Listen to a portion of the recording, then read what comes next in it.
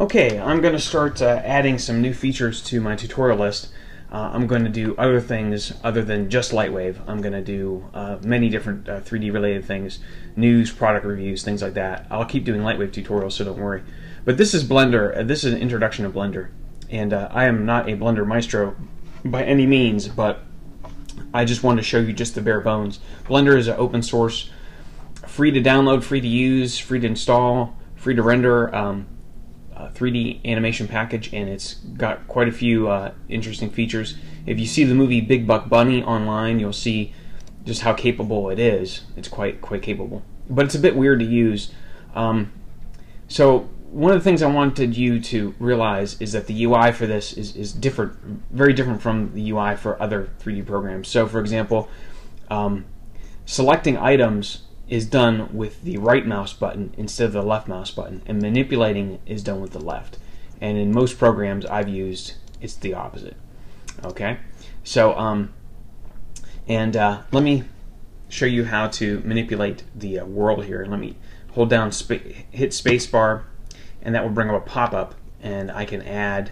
I'm going to add a cube to the scene so we have something to look at. All right, so um, to manipulate the 3D view, I can hold down the middle mouse and that will orbit my view. And scrolling the scroll wheel will uh, zoom in and out, and holding shift and middle mouse will translate my view. All right, so there's the basics. And then um, the number pad um, keys will change your viewport. For example, zero is the camera view, and one is, I think, top, two, and three. So you'll be able to use these at, at various points. All right, so that's that's how that works. I've gotten a bit kind of discombobulated here, but all right, so um, that's the basics of that. And the other thing is, um, you can also manipulate the, your your UI and customize it in, in various ways. So, for example, um, one thing to realize is that if we go to something like let's okay here's here's one that has a lot of different buttons on it. These buttons down here in the button view actually respond to the translation as well. So as you can see if I hold down the middle mouse button I can translate I can move around in my UI here. And if I hold control and shift I can zoom in on my buttons so I can get a better look at them. So which is nice for doing these tutorials because I can move and show you exactly what you want to see. And it's, it's kind of a neat trick that it does there. All right, so um, you're going to see that it's broken up into panels, and by default you'll have a 3D view and the button view down here, and you can change this panel to other things. As you can see, there's a timeline and a text editor. Your user preferences are in here. You can change the from left mouse to right mouse, so you can uh, select with the left mouse instead of the right but I've noticed that that screws up emulate three mouse, three button mouse for some reason. At least uh, when I've done it, so I've just been leaving it like this. But you can change all of your preferences in the uh, in the uh, user preferences view. Uh, the button window is where most of the stuff that happens that you'll normally need. Um, you'll manipulate your object here. This is your material view, and um, you have scripts. There's even like a game uh, interactive um, option here that, that this panel is for. And here's your render your render view um, options. You can render from here, or you could hit F12. All right, so let's um, let me show you then uh, how to uh, work with objects and do a little bit of quick and dirty modeling, and that's all for this tutorial.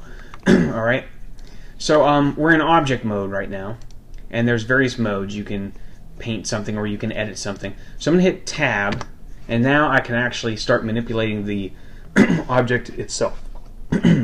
so um, I can go ahead and select, right now I have the vertices, so if I were to right click on a vertex, vertex I could move it around and uh, I could right click on a edge and move that and uh, I could right click on a face and manipulate that face. I'm going to right click on a face and I'm going to hit E and that will extrude. You'll see the uh, little white line shows you where it's going to extrude to. And uh, I'll move down. E again. Right click over here. E, E. And I'll spin around with my middle mouse uh, right click, E, E. All right, so now I've got like a T uh, shape. I'm going to hit tab, and now I'm back into the object mode where I can manipulate it and, and animate it. okay, so that's a basic um, basic there.